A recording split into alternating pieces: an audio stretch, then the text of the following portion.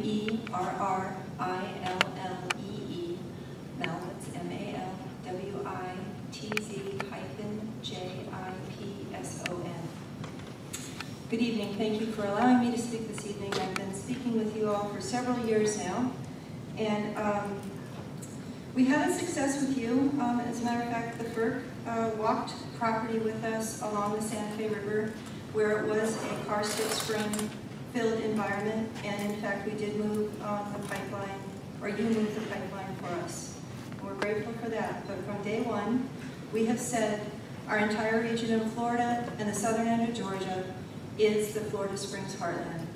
It is full of karstic terrain, sinkholes, and problems that could be attributed or associated with any sort of explosions, digging of a 36-inch pipeline through our corridor.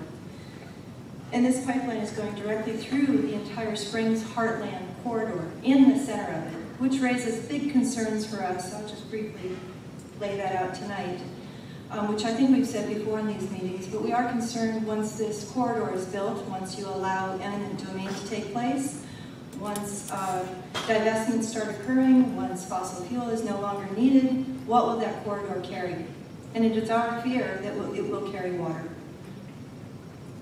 It is in the corridor, it is in the springs.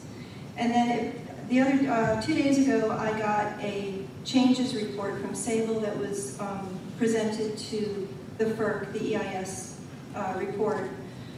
And on table 6.5-1, with pages 12 through 187, representing seven, 175 pages of material, approximately 7 to 24 entries on each page, added up to 3,500 entries that did prove, in fact, that we are karstic, we are sinkholes. Words such as karst feature, potential sinkhole, modified sinkhole, sinkhole, potential modified sinkhole, describing regional karst terrain as fissures, tubes, and caverns, Ground cover at 10 feet to 200 feet, 10 feet. We're talking about digging down six feet, very close to the aquifer. Subsidence sinkholes, clusters of potential sinkholes, solution sinkholes dominate. Another subsection to this was sinkholes are few, it says. Sinkholes are few, generally shallow and develop gradually. This was all in 0.25, 0.25 miles of either side of the corridor. This wasn't very far out.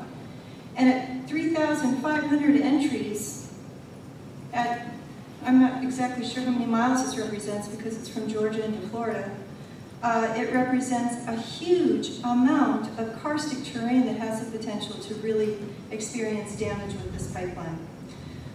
It went on, sinkholes are few, generally shallow, and develop gradually. Solution sinkholes dominate, bare, bare or thinly covered layers here closed topo depressions.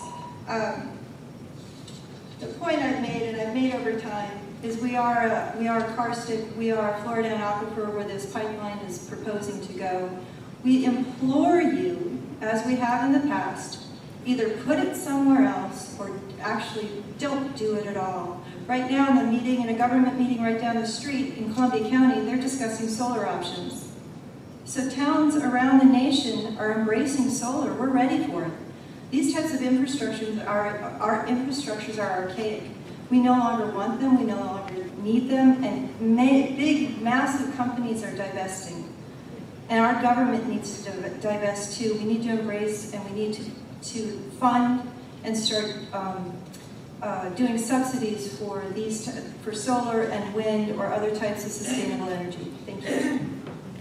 Thank you, Ms. Roberts Number nine, Ms.